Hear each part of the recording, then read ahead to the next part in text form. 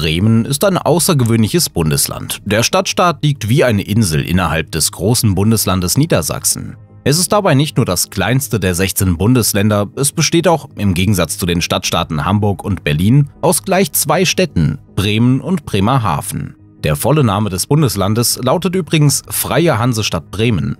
Bemerkenswert ist nicht nur, dass Bremen im Laufe der Geschichte alle deutschen Staatsgründungen miterlebt und mitgestaltet hat, sondern auch, dass es in der langen Zeit nur zweimal seine Eigenständigkeit verloren hat. Wie Bremen trotz seiner geringen Größe ein eigenes von Niedersachsen unabhängiges Bundesland werden konnte, schauen wir uns in diesem Video an.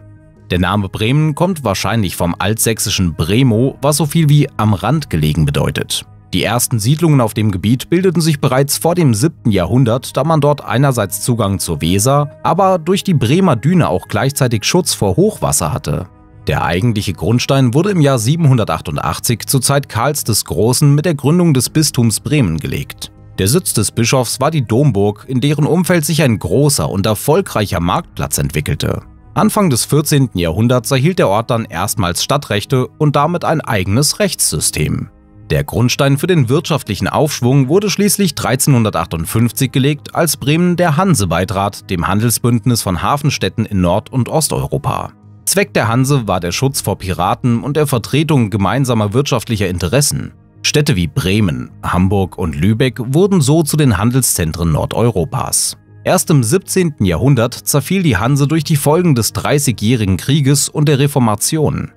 Im Jahr 1646 wurde Bremen durch das Linzer Diplom des habsburgischen Kaisers Ferdinand III. zum ersten Mal zur freien Reichsstadt im Heiligen Römischen Reich.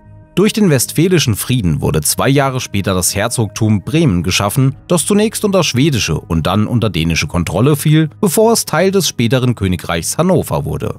Die eigentliche Stadt Bremen hingegen widersetzte sich jeder übergeordneten Macht und behielt ihre Eigenständigkeit. 1803 kam es zum sogenannten Reichsdeputationshauptschluss, dem letzten großen Gesetz des Heiligen Römischen Reiches. Dabei wurde das Reich komplett umstrukturiert. Bremen war nun eine von sechs Reichsstädten, die ihre Souveränität behielten und nicht aufgelöst wurden. Im Jahr 1810 wurde Nordwestdeutschland dann von Napoleon annektiert und Bremen verlor zum ersten Mal seine Unabhängigkeit. Drei Jahre lang diente es als Hauptstadt des französischen Departements der Wesermündungen. Nach der Niederlage Napoleons wurde Bremen zu einem souveränen Stadtstaat im Deutschen Bund. Zu dieser Zeit hatte die Stadt hauptsächlich Probleme mit der Weser, welche den Zugang zur Nordsee ermöglichte. Der Fluss versandete zunehmend und war immer schwieriger zu befahren, was für die Hafenstadt natürlich katastrophal war. Die Lösung kam 1827, als man 60 Kilometer nördlich an der Wesermündung einen Vorhafen gründete, von dem aus Handelsgüter dann über Land nach Bremen gebracht werden konnten. Aus diesem Vorhafen sollte sich später die Stadt Bremerhaven entwickeln.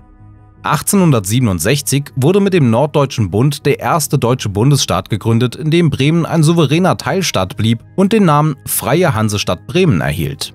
Dies änderte sich auch nach der Gründung des Deutschen Reiches im Jahr 1871 nicht.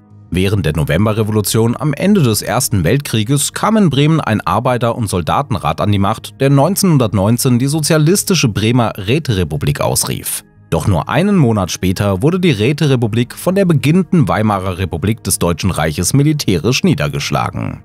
Im Stadtstaat Bremen wurde eine neue Regierung installiert und eine parlamentarische Landesverfassung ausgearbeitet, die erstmals das Frauenwahlrecht beinhaltete. Im Nationalsozialismus verlor die Freie Hansestadt Bremen schließlich ein zweites Mal die politische Unabhängigkeit, nachdem die NSDAP in der Stadt an die Regierungsmacht kam. Durch das Gesetz über den Neuaufbau des Reichs wurde Bremen dem Reichsgau Weser-Ems unterstellt. Im Zweiten Weltkrieg kam es zu 173 Luftangriffen auf Bremen, wodurch 60 Prozent des Stadtgebiets komplett zerstört wurden. Eine britische Schlussoffensive beendete schließlich 1945 den Kampf um Bremen und im gleichen Jahr endete mit der deutschen Kapitulation auch der Krieg. Zunächst wurde Bremen genau wie der gesamte Nordwesten Teil der britischen Besatzungszone.